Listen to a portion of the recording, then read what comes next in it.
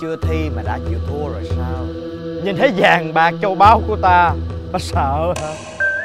Ê, nói về à, bạc vàng châu báu á, thì thạch sùng ta đây không tinh tế lắm.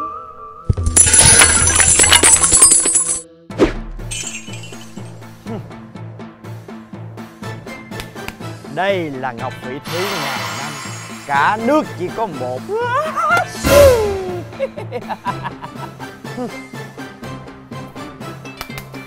Ngọc trai bắc cực. Người có không sen à.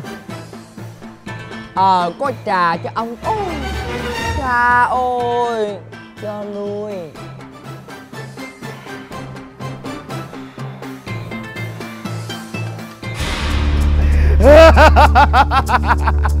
Tốt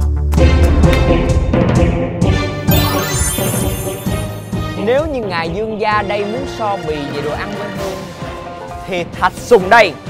Xin sẵn sàng chơi với ngài.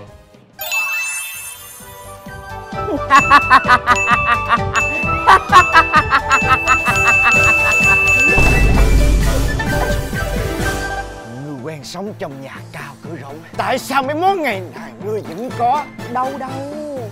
Đây đâu phải là đồ ăn nhà của thạch sùng mà những món ăn này thạch sùng mua tại Lotte Mart Lotte Mart Tươi như đồ quê, ăn vào thích mê He he he he he.